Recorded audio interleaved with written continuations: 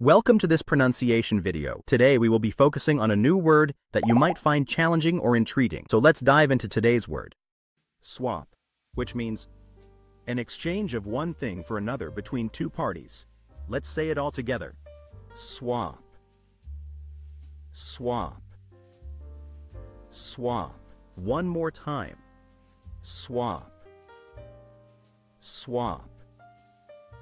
Swap.